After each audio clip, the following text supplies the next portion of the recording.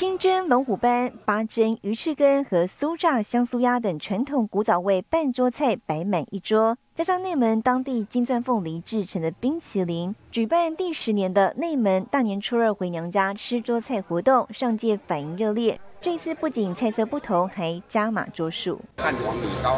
那平安在地安家客名八百万，五千八百万，啊内底有包完的冰糕，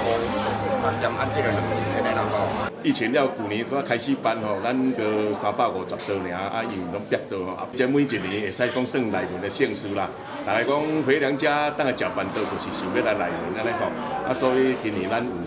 哦，佮加五十桌咧，拢都四百多。高雄农业局表示，内门区主要生产龙眼、凤梨、芭蕉和养蜂产业等为名，畜牧业、养猪、养鸡产业更是发达，是高雄最重要的畜牧产区。加上庙宇跟板的宗破塞的手艺全国知名，希望透过巧手推广高雄农特产，也推广传统的板德文化。将这个呃在地呃畜产食材，还有我们的呃高雄后山呃特色的竹笋。烤山鸡，还有我们的呃其他的特地食材，能够纳入我们的大菜，在初二的时候，能够邀请全国各地的好朋友来到内门，体验内门的宋江镇文化，还有呃特色的中破塞的手艺料理。高雄内门初二回娘家板德活动是过年期间重要盛事，明年五位在地中破塞将共同烹煮美味佳肴端上桌，期待让年节返乡儿女一尝内门中破塞的好手艺。